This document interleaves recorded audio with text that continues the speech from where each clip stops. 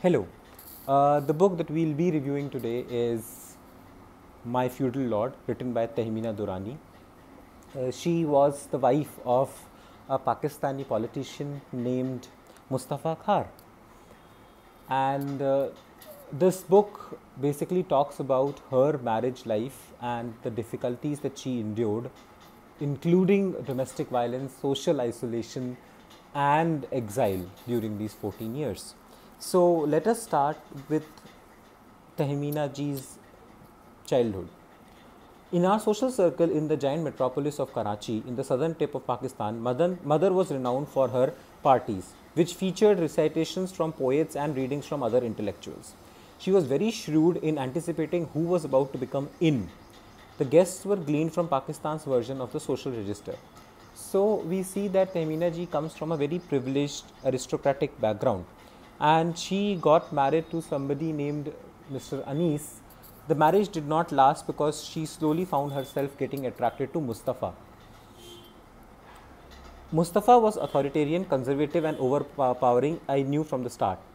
But that was precisely what attracted me so much. Psychologically, I had suffered from my father's weak role in our family. Now, here was someone who presented a quite different personality.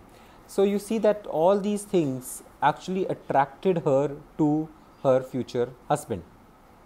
She ends up divorcing Anisji and marrying Mustafa. And slowly uh, and suddenly she comes in touch with his actual nature. Now, Mustafa had many wives. So, one of the wives had actually taken uh, his share of the multivitamins that came from London. Where are the rest of my uh, multivitamins? He demanded. I took them, Sherry admitted. I needed to because of my pregnancy. Mustafa kicked her in the buttocks. He pulled off his thick rubber soled shoes and struck her with them. Then he roughly pushed her out of the room. I froze in shock but could not find the courage to express my revulsion. So, slowly she comes to know about, about the actual nature of her husband. This is how uh, he treats his other wives in public. In public, Mustafa treated Sherry with contempt. In conversation with her at his side, he constantly declared that Sherry was the wrong woman for him, and he made no secret of the fact that he was in the market for the perfect wife. I have made another mistake, he would say, I'll have to marry again. She laughed off all the insults, pretending and obviously hoping that he was speaking in jest. So, these are various aspects, various facets of his personality and how he treats women. Later on, as the marriage progresses, and uh, his violent nature comes and affects uh, Tehmina ji also. She says, I reached out to him and tried to build his morale.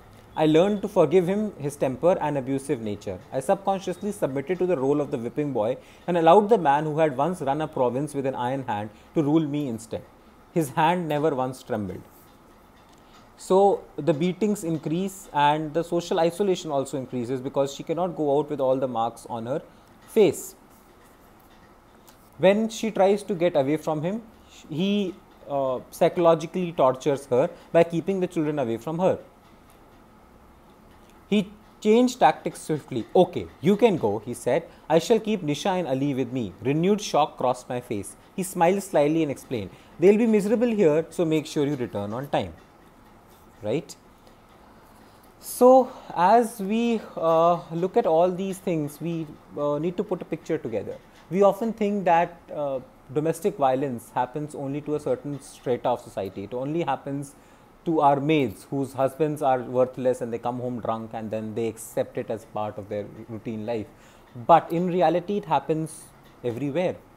Women with backgrounds such as Tehmina ji, who come from aristocratic, educated uh, backgrounds, also undergo the same things and also undergo the psychological side effects of it. They are unable to speak out of it. They kind of accept it as their fate because they have seen other women go through it.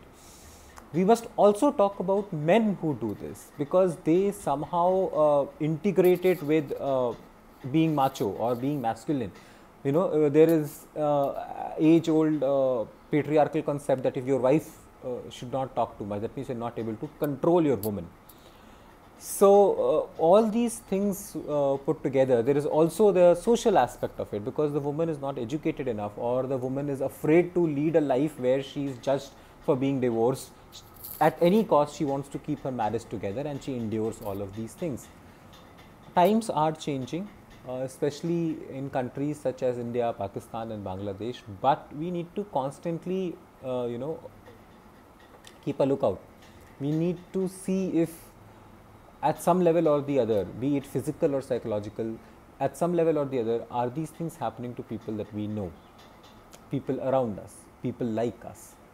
Obviously, people who are unlike us also must be rescued and talked to.